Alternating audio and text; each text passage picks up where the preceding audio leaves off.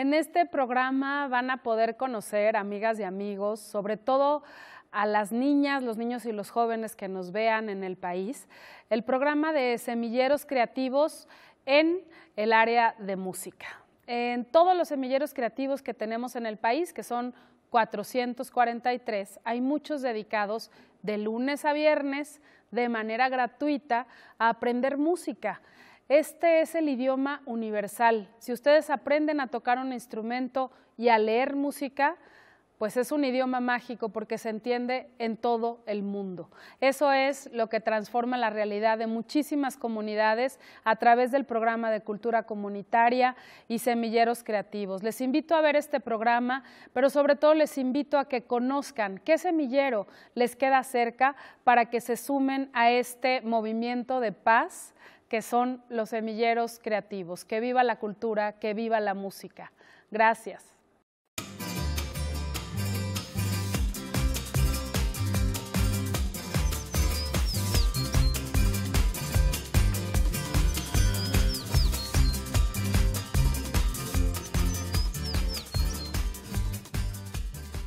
Estamos aquí con el maestro Roberto Rentería. Yo no sé en cabeza de quién me invitaron a conducir este programa, maestro, porque usted sabrá, yo no dejo hablar a los invitados. Pero prometo que hoy me voy a portar bien porque nos tiene que contar muchas cosas muy interesantes. Con mucho gusto. Muy, muy interesantes. Primero, cuando llegó a la casa, ¿verdad? ¿Cómo encontró la casa? ¿En qué estatus estaba la educación musical y todos esos menesteres? Claro que sí, pues eh, cuando nosotros llegamos a Fomento Musical ya existía este programa dentro de esta administración que se llama Los Semilleros Creativos del programa Cultura Comunitaria, con un trabajo muy importante que nos dedicamos entonces a fortalecer, a consolidar, a reencaminar para garantizar que entonces las niñas, niños y jóvenes de nuestro país puedan tener un mejor futuro a través de la música. ¿Se puede hablar que haya un proyecto más importante que otro dentro de los semilleros? De ser así, ¿cuál sería el que más impulso se le está dando? Yo creo que no hay ninguno que sea más importante que el otro, todos son muy importantes. En nuestro caso, nuestra especialidad y nuestra expertise es la música, somos el brazo musical de cultura comunitaria y esto nos implica el poder trabajar con niñas y jóvenes de todo el país para poder desarrollar en ellos muchos valores y toda una serie, sobre todo, de elementos que les permitan ser conscientes de su entorno y de su comunidad. Ahora, para quienes no se han tropezado con un semillero, que de, plano no lo han escuchado o lo han oído, pero no se han internado en uno, que llegan y qué es lo que ven, qué sucede adentro de un semillero así, con peras y manzanas. Un semillero es un espacio de formación artística con un enfoque comunitario. ¿Pero qué es una escuelita? Yo llego, hay salones, ¿cómo es? Es una sede, puede ser una casa de cultura, puede ser una escuela, puede ser una eh, bodega, puede ser una gran eh, una arbolada donde hay sombra que nos permite trabajar, es decir, son espacios que se apropia la, misma comunidad de ellos y en donde se erigen estos programas que son, como lo mencionaba, espacios de formación artística enfocados específicamente para niñas, niños y jóvenes, sobre todo aquellos en los que en sus comunidades existen problemas sociales o que están con mayores vulnerabilidades. Sí, están ahí en peligro, con todo respeto, este, y pues hay que hacer algo desde el otro lado. Es correcto. No todo es castigo, ¿verdad? Al contrario, hay que dar herramientas. ¿Y qué hacen cuando de plano llegan a lugares donde pues lo que hay, como usted decía, es una enramada, ¿verdad? Y pues de dónde sacamos los instrumentos, ¿qué hacen en ese caso? Lo más importante es tener este acercamiento con la propia comunidad no para imponer un proyecto en sí, sino para saber cuáles son sus necesidades, cuáles son sus intereses, cuáles son las propias tradiciones de esa comunidad, si antes ahí se tocaba el violín, si había mariachi, si existía una orquesta sinfónica, una banda, un coro, y a partir de eso, de los recursos humanos disponibles, de la infraestructura también disponible, seas una enramada, una escuela, una casa de la cultura, un auditorio, entonces es que trabajamos junto con esa comunidad para diseñar qué tipo de semillero debe desarrollarse en ese entorno, en ese espacio, y entonces junto con ellos empezar a reunir todos los elementos que se requieren para echarlo a andar. O sea, de plano es, se costurean a la medida. Es tal cual. Podemos jalar para acá, para allá. Me, decía Roberto que, eh, por ejemplo, sí, semilleros hay en los 32 estados, pero música solo han podido llevarla ahorita a los 27 a 27, porque en otros o es redundante o hay que intervenir de alguna otra forma. Es correcto. Al día de hoy sumamos 184 semilleros en 27 estados de la República Mexicana. Nos falta todavía seis, que por supuesto tenemos la intención de poder tener alguna cobertura más adelante. Ya les echaron Pero en esos, en esos estados existen ya semilleros de otras disciplinas, teatro, danza, circo, eh, que están haciendo una función también muy importante, o existen ya proyectos municipales, estatales, que pudieran ser similares y a los cuales les damos en todo caso alguna asesoría, algún acompañamiento para que se sigan desarrollando. Ahorita nos va a platicar el maestro cómo interactúan porque no crean que cada quien jala para su lado, ¿no? esto se pone muy interesante y muy emotivo. Eh, a ver, Roberto, otra pregunta. ¿Cuál sería entonces el objetivo de Semilleros? ¿Sí formar músicos, rehacer el tejido social, eh, o que, por ejemplo, le den ciertas herramientas a chicos y chicas para que se empoderen? ¿Cuál sería? ¿O es todo sí? Tenemos un objetivo principal que es con todo lo que abona a semilleros de música, el generar conciencia en los chicos, conciencia en tres ejes rectores. El primero de ellos, el cuidado del medio ambiente, el segundo de ellos, la diversidad, el reconocimiento y respeto de toda la diversidad en todas las expresiones posibles. Y por supuesto también el reconocimiento y el sentirse orgulloso de su propia comunidad, el conocimiento y reconocimiento de esa comunidad y para ello tenemos una herramienta poderosísima que es la música a través del propio repertorio en el que todos los días, cinco días a la semana, un mínimo de tres horas diarias, estos eh, niños, niñas y jóvenes del país asisten con sus docentes, con sus maestras, para trabajar a través de la música en una formación integral. En efecto, el objetivo no es bajo ningún eh, precepto el formar músicos profesionales, sino utilizar la música como una verdadera herramienta de transformación social. Qué bonito. Y ahorita que hablabas del cuidado del medio ambiente, ¿no han empezado a hacer ya instrumentos de basura, como tenemos la orquesta basura y otras cosas? Porque eso tampoco está muy descabellado, ¿no? Hay toda una metodología que se concentra en un modelo que ha diseñado e implementado el propio Sistema Nacional de Fomento Musical, que lleva por nombre el modelo de educación musical comunitaria. Este modelo no solo parte de los tres ejes rectores que les mencionaba, sino que tiene toda una serie de elementos que contribuyen al programa.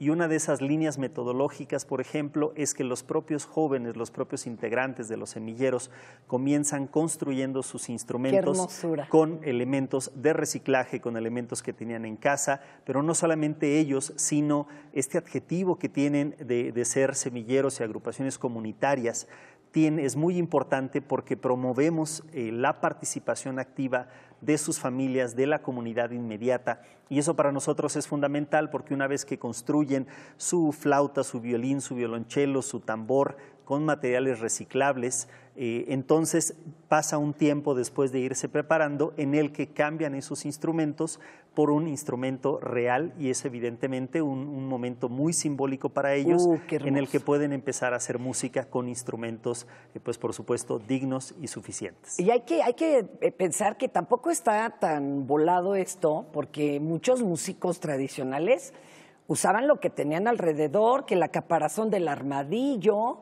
que el bule, que el guaje, ¿no? Eh, bueno, me tocó ver, esto es algo también bastante fuera de serie, en Veracruz, un arpa hecha con eh, la dentadura de un tiburoncito.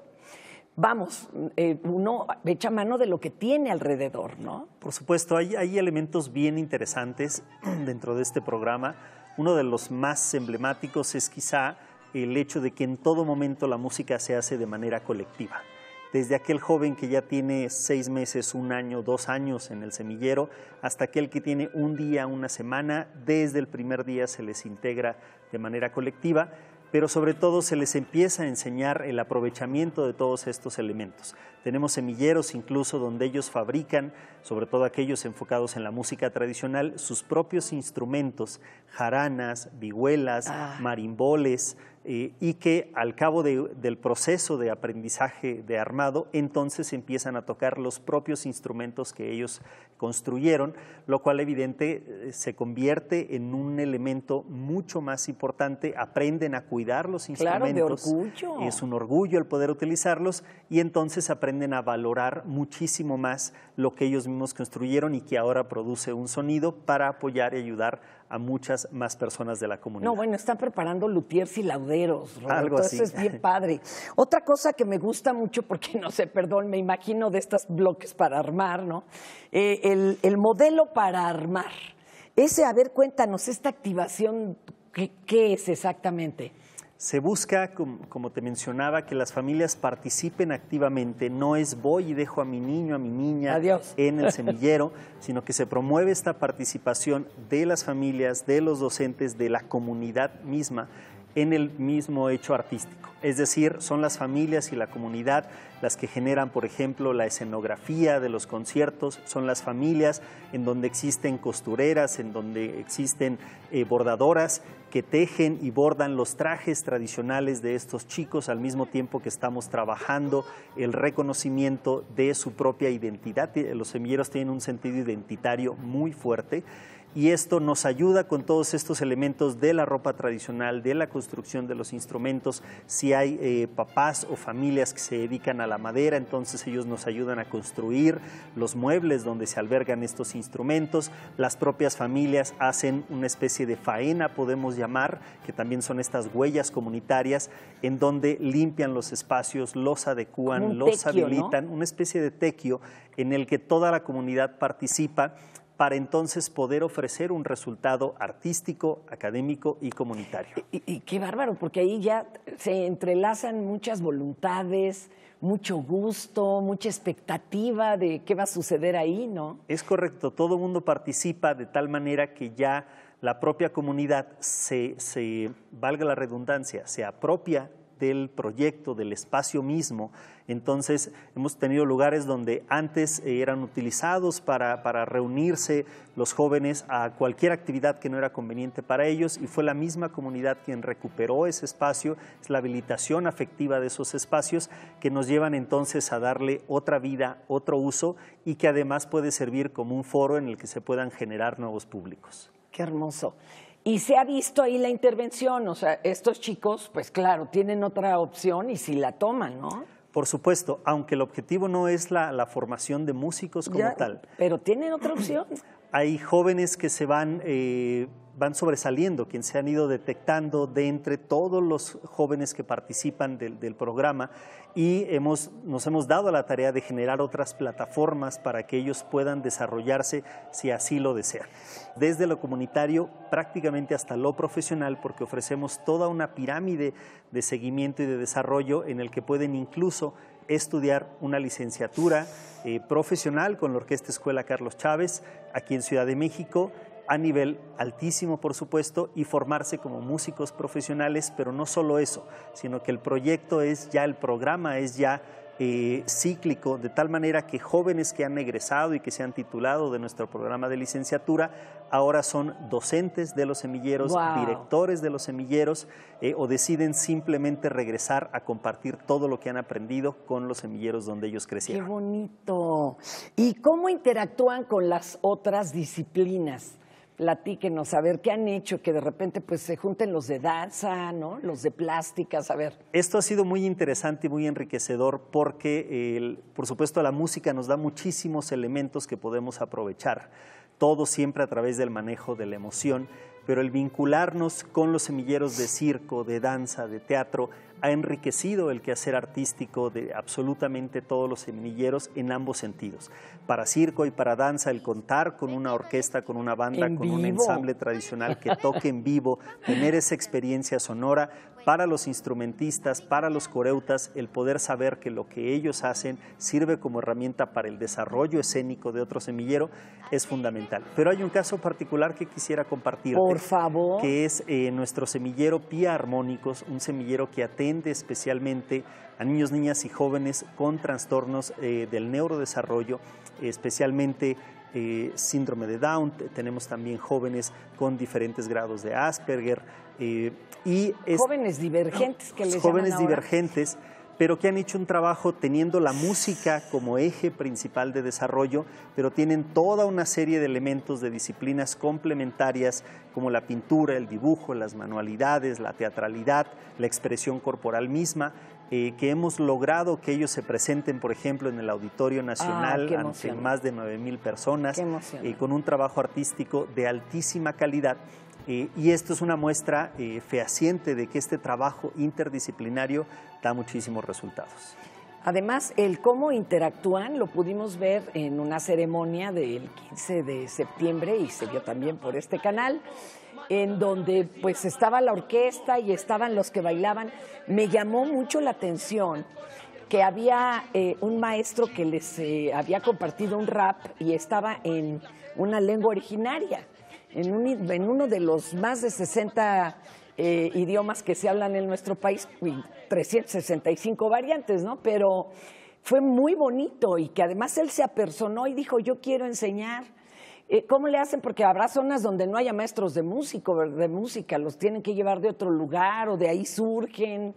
Justo algo muy importante en esta parte identitaria que tienen los semilleros, no solo de música, sino de todas las disciplinas, es eh, también el rescate y el, promover el uso de las lenguas originarias en diferentes lugares donde existen maestros de literatura, maestros eh, eh, poetas, artesanos incluso, eh, buscamos acercarnos con ellos para promover y difundir el uso de las lenguas que muchas veces a los niños o niñas les daba pena hablar en la primaria y que al contrario ahora se sienten orgullosos de poder hacer una muestra artística en sus lenguas. Ese día, el 15 de septiembre, tuvimos una, uno de los números escénico-musicales en 11 lenguas eh, diferentes. Tenemos eh, también un número con nueve distintas lenguas, de tal manera que los eh, participantes se sienten ahora orgullosos de su origen, de sus tradiciones. Eso nos vincula también con las generaciones anteriores, de tal manera que participan los abuelos, las abuelas, los tíos de los propios chicos, para transmitir sus conocimientos, no solo en el dominio y el conocimiento de la lengua, sino también en todo lo que envuelve su propia comunidad. Hace rato hablábamos del canto cardenche, estábamos apenas en la maquillada. Y por ejemplo, ayer era muy notorio que no se le permitía a las mujeres cantar. Ahora ya ni modo porque se están acabando los señores que cantaban canto cardenche.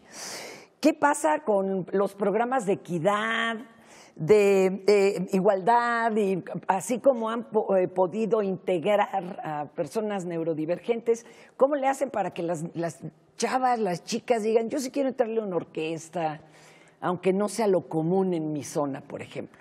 Es bien importante y me voy nuevamente a este tema de los ejes rectores, en este caso la diversidad y el respeto a esa diversidad es muy importante para nosotros. El hecho, por ejemplo, de llegar a Tepalcatepec, Michoacán, una zona eh, con grandes problemas en cuanto a eh, seguridad, a violencia, y que cuando nosotros junto con la comunidad planteamos, porque ellos nos dijeron, es que aquí se está perdiendo eh, la música de arpa grande, o ya solo se usa en las cantinas, ya solo se usa en otros centros, que se está perdiendo. Y se va a acabar. Y se va a acabar. Lo que hicimos fue justo proponer junto con ellos la creación de un ensamble de arpa grande para niños y niñas. Evidentemente al principio prácticamente se rieron un poco de esta propuesta porque decían no es posible como niñas si esta música siempre se ha hecho en su, en su totalidad por hombres. Pues empezamos a trabajar con niñas y con niños. Al día de hoy tenemos más de 70 integrantes en este semillero de arpa grande, en donde en un 60% son mujeres las que tocan ahora la vihuela, la jarana, el violín, el arpa grande misma. Eh, y así tenemos muchos casos, una banda de mujeres en Santa María, Tlahuitoltepec, la Orquesta Comunitaria Lomas del Paraíso en Guadalajara, Jalisco, también en un mayor porcentaje por mujeres. Y si hacemos una numeralia de todos los semilleros de música en el país, estamos hablando de que el 50% de los semilleros es de mujeres y el otro 50% de hombres, incluso en agrupaciones como las bandas sinfónicas donde que una mujer tocara el trombón, la tuba, el barítono era prácticamente impensable, pues ahí estamos nosotros, además eh, con mujeres, con señoritas muy talentosas que han logrado destacar en su comunidad. A mí me emociona mucho, ¿eh?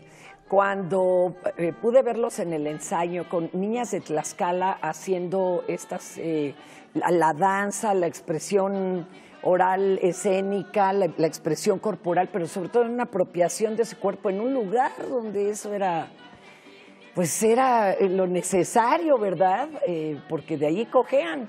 Eh, esto se me hace sumamente importante, interesante. Eh, a mí sí me arrancó lágrimas, en serio. todavía me emociono cuando hablo de esto, porque se están poniendo el arte y la música de frente a, a- a los que no quieren que esto suceda. Y les Sobre- dice, pues va a suceder, ¿no?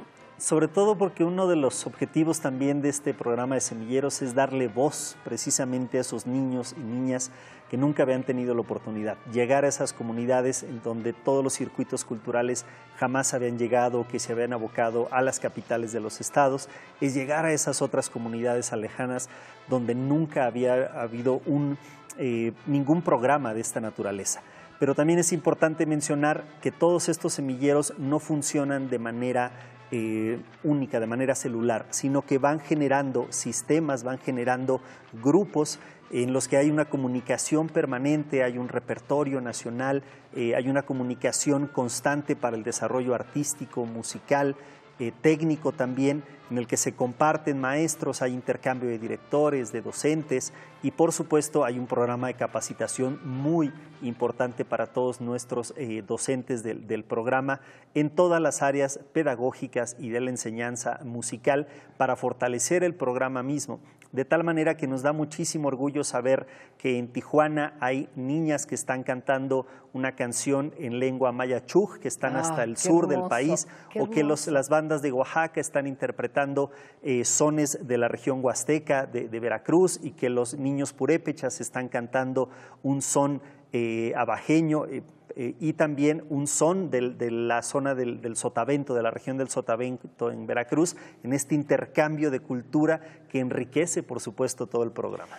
Y si hiciéramos un balance general, ¿cuáles han sido los efectos o la repercusión de este tipo de programas de música en las zonas a donde están?